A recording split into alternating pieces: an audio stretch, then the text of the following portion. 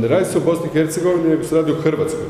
Hrvatska, direkt, hrvatska ekonomija direktno ovisi o situaciji u Bosni i Hercegovini. Kad govorimo o sigurnosnom stanju, siguran sam da je puno eksplozivnije područje bivše uh, Jugoslavije, odnosno jugoistočne Europe, nego je to Skandinavija. Siguran sam u to, tim više što imamo tu uh, gospodina Dodiga koji je manje više neskriveni uh, simpatizer i saveznik Putina. Dakle, ako će eskalirati sukob koji se sad događa, prije će eskalirati ovdje, odnosno u Bosni i Hercegovini, nego u Skandinaviji.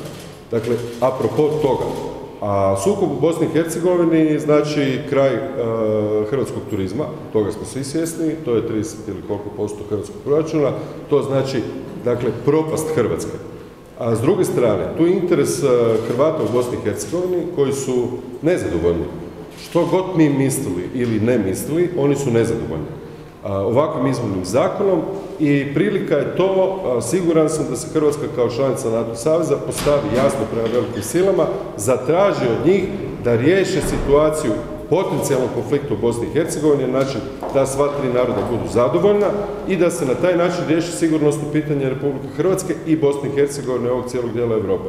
I u tom, u tom smislu je inicijativa predsjednika, inicijativa HSS-a koju smo dakle isto tako donijeli, po nama apsolutno legitimna, koristimo pravne mogućnosti kako bismo osigurali da ne dođe do eskalacije, ne da Bože sukoba u Bosni i Hercegovini koji bi direktno značio propast za Hrvatsku.